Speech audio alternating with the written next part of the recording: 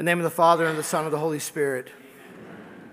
So, Team Grace, today we conclude the Easter season and our formal celebration of the Lord's resurrection from the dead. We conclude the season with the high feast day of Pentecost, the descent of the Holy Spirit upon the apostles and Our Lady. And Pentecost has always been very dear to my heart. Even when I was a young Christian, I didn't know. I always got excited about Pentecost. It's shocking that there are a lot of Christians who don't even know what Pentecost is. But I loved Pentecost. In fact, when I was a student priest in Rome, I made sure I always went to the Pantheon, because the Pantheon is the temple with a big hole in it. And in Rome, they drop all these red roses from the top while they're singing Come Holy Spirit. It sounds very dramatic, very Italian, doesn't it? And I thought, oh, what is that? It's an Irishman. I'm like, why do we do this? This is kind of stupid, right?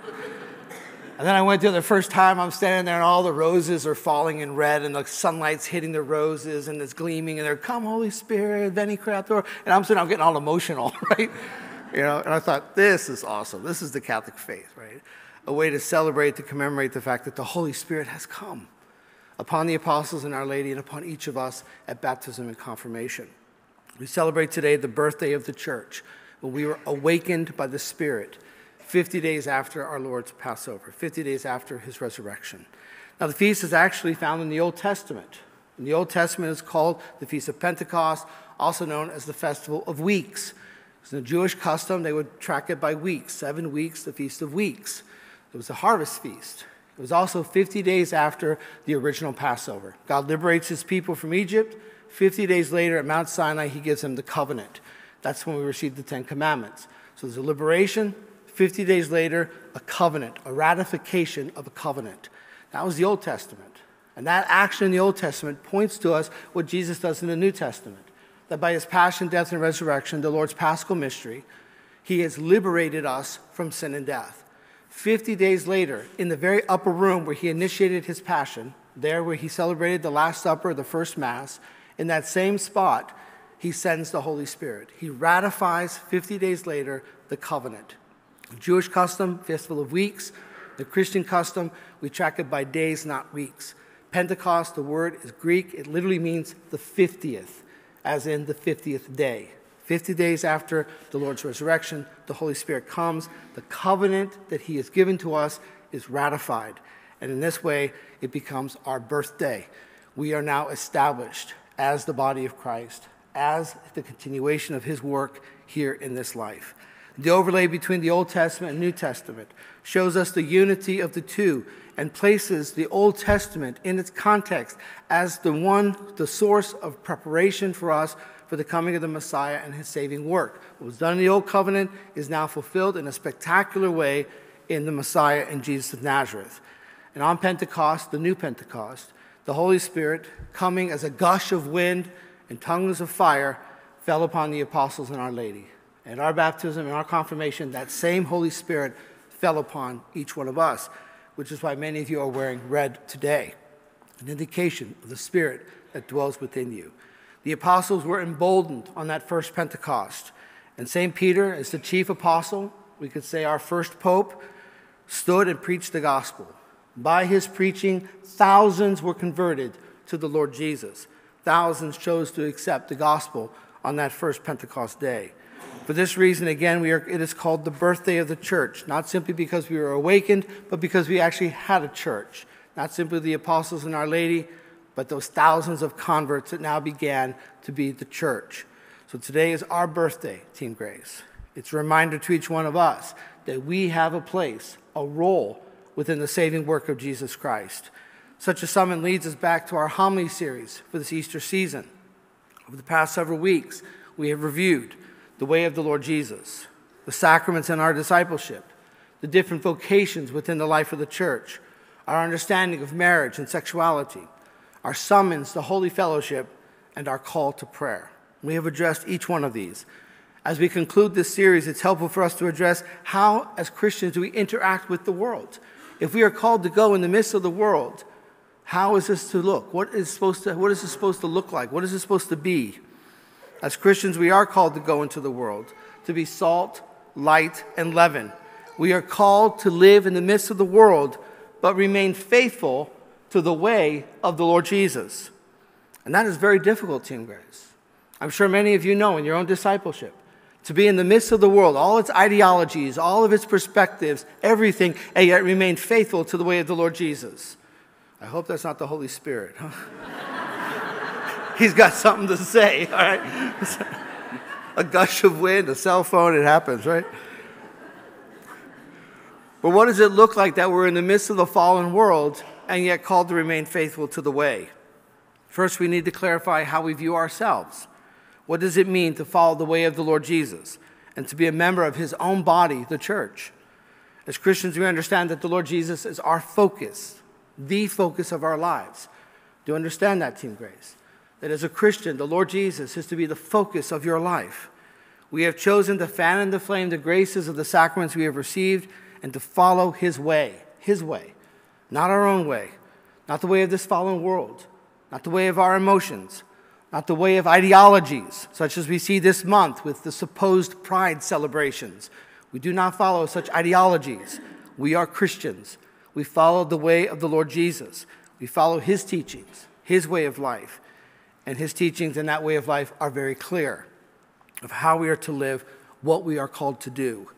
Our identity as Christians places us here in the church, the body of Christ. The church cultivates our faith and nurtures a culture of fidelity and holiness. We belong to the church. We are members of the church. It's not that our life is defined by the world, and we sometimes just come to Mass. We have some Christians like that.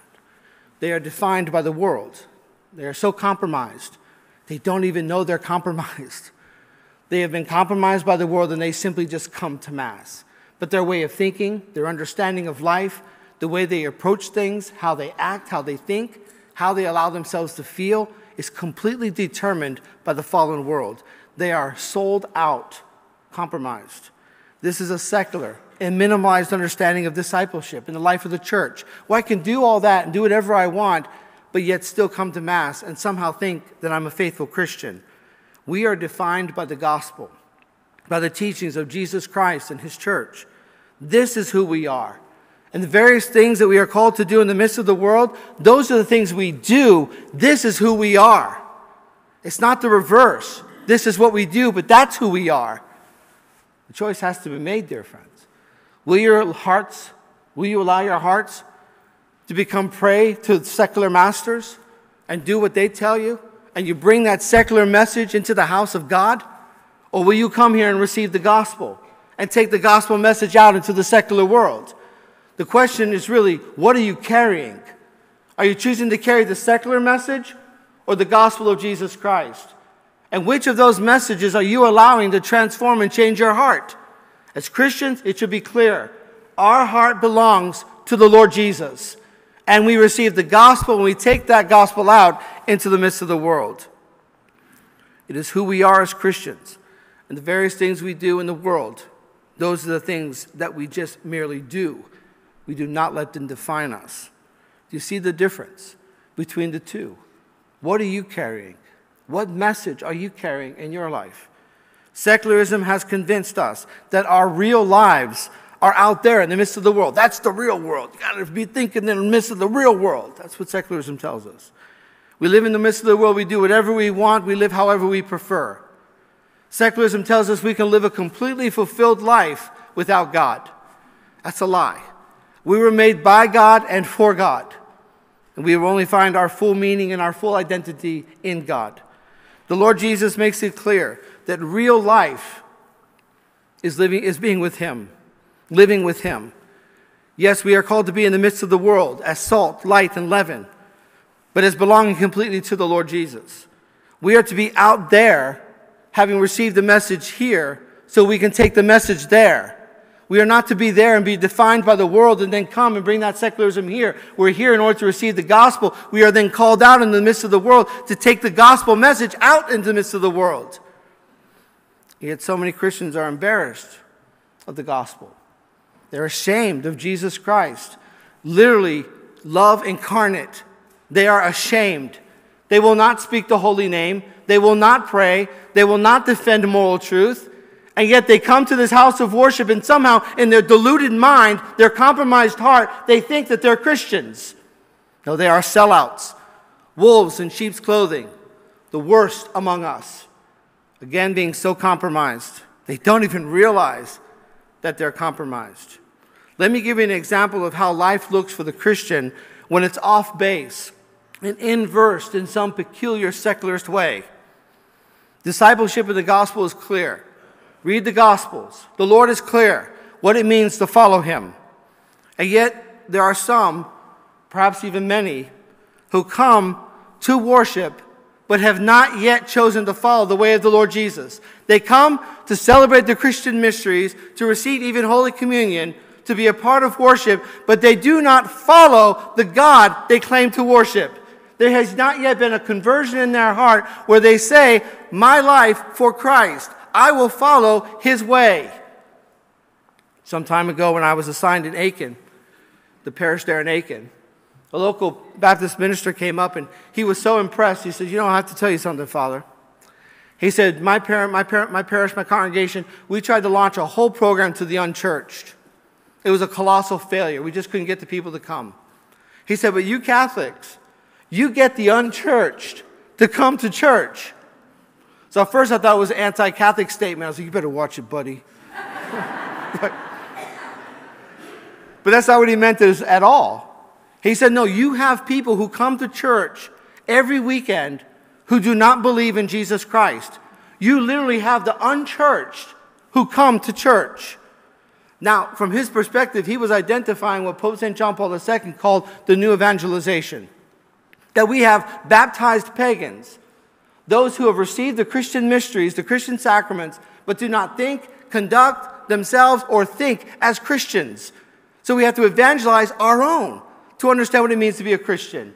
So while that perspective is helpful, it also shows our state of affairs. That we have many among us who do not believe. In fact, if we trust Pew Research, we should be cautious about that. But if we're going to trust Pew Research, the majority among us do not believe. Let's just look at the stats. The majority of Catholics do not believe in the divinity of Jesus Christ. Friends, if Jesus Christ is not God, this is a really bad joke, and you should not be coming here. This is all grounded on the fact that Jesus Christ is Lord, God made man. If you do not believe in the divinity of Jesus Christ, you have huge problems in your own discipleship. And of course, the majority of Catholics, we are told, do not believe in the bodily resurrection of Jesus. Even St. Paul tells us that if the resurrection did not happen, we are the most pitiable of all men. We are fools because this is all grounded on the fact that Jesus bodily rose from the dead, destroying the kingdom of sin and death. The majority of Catholics do not believe, we are told by Pew Research, that Jesus Christ wants a personal relationship with them. I pray that's not true. Do some of you believe that? That Jesus Christ does not want a personal relationship with you. Dear friends, his entire paschal mystery, his brutal torture, his passion, death, and resurrection was to win credibility in our hearts, that we might trust that what he told us was true, and that we might walk with him, be on his way, and know that, yes, indeed, he wants a personal relationship with us. The majority of Catholics support abortion. The majority of Catholics support gay marriage. The majority of Catholics, we are now told, up to 70% do not believe in the real presence. Why are you here? This isn't a breadline. If you do not believe in the real presence of Jesus Christ, what, what brings you here? And certainly, when we begin to realize if it's true that 70% do not believe in the real presence, it certainly explains why there is such irreverence at Mass and in the house of worship. For if you do not believe that the Lord is among us, then I guess you just can do whatever you think you want. 70% do not believe in the real presence. It is so severe that later this month, the U.S. bishops are declaring a three year Eucharistic revival. the Catholics got a revival going on, okay? a three year revival. Our bishops are addressing this because it is a crisis of faith. 70% of our own do not believe in the real presence. And then, of course, we look at those called the holy matrimony. We are told by statistics that 91% of those called to marriage are using contraception. That's a grave sin that kills the soul of the person, that kills a marriage, that nurtures selfishness within the very vocation that is to be about selflessness. And yet, oftentimes, those who are doing such things approach and receive Holy Communion sacrilegiously, which is a further death to their soul and a weakening of the entire body of Christ. We can continue on, dear friends. We see what happens when there's an inverse. When we allow the secular mindset to take our hearts and our minds, and we begin to think as unbelievers, and we begin to live as unbelievers. This is not the path that we are called to live. We are called actually to commit our lives completely to Jesus Christ. We are to surrender our entire lives to Him and to seek to follow His way. As we go, therefore, in the midst of the world, what are our sources? What are our helps to holiness and spiritual health and protection? If we're going to be in the midst of the world and we're trying to keep this secularism and this hedonism and this selfishness out, what's going to protect us? And of course, the church provides many resources. The Lord provides many resources. The first defense against the extreme efforts of this fallen world to overtake our hearts is the tithe. Yes, you heard that right. the tithe. The tithe. The tithe is a biblical mandate to give our first fruits to the Lord. It is a summons for us to trust in the Lord and to give Him the first 10% of our income. Not what's left over after we pay the bills and do whatever we want. Not what we think we should give it's not based on whether we like or dislike the pastor. the tithe is the first 10% from the top. Why the first 10%? Because it declares our trust in God. It subordinates all other things to God. I will take my very means of livelihood for myself, my family, and I give the first fruits to God because He is Lord and I will not allow anything, no money, no ideology, no comfort, to rob my heart, to steal my heart from the Lordship of Jesus Christ. And that is humbled and kept in check by the tithe. The tithe orders the things of this world according to our faith. It humbles the things of this world and refuses to allow them to overtake our hearts, whether that's money, possessions, comfort, or ease. St. Paul warns St. Timothy the love of money is the root of many evils. It is seductive. It lies to us and tells us it gives security and influence, and we buy it. We rarely worship it. Well, I have to take care of myself. I have to take care of my family. I thought you were a Christian. We allow God to take care of us. We give the first fruits to God, and that protects our heart from the fallenness of this world. The first 10%. But why not the last 10%? Let me give you an example from the scriptures. Say there was a landowner who had 10 lambs. He didn't know he was going to get 10 lambs. It was a good time. He got 10 lambs. He only had the first lamb immediately. He has one lamb. He doesn't know what's going to happen. And he gives that first 10%, that first lamb to God. He takes it to the temple. He offers it in sacrifice. That is a declaration of faith because he doesn't know what else is coming. My life, my livelihood, everything I am is in God's hands. Jesus Christ is Lord. I believe, I trust. He gives the first lamb. Then he's blessed with nine other lambs. Huh? But if he does the tenth lamb, he has nine other lambs. Where has he put his trust? In God? No, he's put his trust in those other nine lambs. Because he knows I got nine other ones waiting for me. I'll give this one to God. Right? That's no sacrifice. That's not the tithe. That is trying to be a businessman and to manipulate and compromise the tithe. No, the tithe is the first 10%. I believe in God. I don't know if other lambs are coming, but I know I have this lamb, and I know that God is good, and I give him my lamb. My lamb. I give him the first 10%. You know, the Old Testament doesn't speak about bringing the tithe, excuse me, giving the tithe. We use that in English, you got to give the tithe, right? But the Hebrew word is actually very different. The Hebrew word actually says you bring the tithe, you don't give the tithe. Do you know why? The scriptures teach us. You can't give what doesn't belong to you. The tithe doesn't belong to us. We don't give the tithe, we bring the tithe. The tithe belongs to God. You know, the scriptures tell us that those who do not give the tithe, they steal from God. The scriptures call you thieves. If you do not give the tithe, you have stolen from God. You are a thief. With all the manipulation and the darkness and the lies that go with that, and all the destruction that causes in the spiritual soul, and the influence of the fallen world into the heart. The scriptures say the one who does not tithe is a thief. You're in the covenant with God. You declare that you believe in God. You're here because you say you believe in God. But yet you manipulate things in order to trust in yourself, to trust in your own wealth, to trust in those nine other lambs. Now, as I explain this, I hope it becomes clear that the tithe is not principally about money, but about faith and trust, obedience and humility to God. I trust in God, and I will order everything else in my life by the tithe. It protects my heart from the fallenness of this world. Now, the money is very helpful, and when it's given to the church, good things happen. Here, Our Lady of Grace, I communicate with utter transparency so you know exactly what's happening. Due because of the tithe of some, we were able to build that home in Greenville for unwed mothers. That's how that got built. Your tithe did that?